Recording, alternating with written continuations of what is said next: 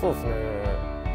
まあ漫画はあのちっちゃい時から当たり前にあってテレビでもアニメをいっぱい放送したんでそうですねめちゃくちゃあの自然に触れる感じでずっと見てきたんですけど漫画を見る自分はまあちょっと何歳まで見続けていいのかなっていうのはありますけど でもまあなんか今見てもなんかどんどんあのいろんな作品出てるんであの今も読み続けてますしなんか楽しいです。Quite the entertainer, quite the character, grew up obsessed with comic books. とまあそのなんでのび太の格好をするかっていうのはえっ、ー、とあのあの知り合い元もともとのチームメイトのジャイアンっていうキャラクターの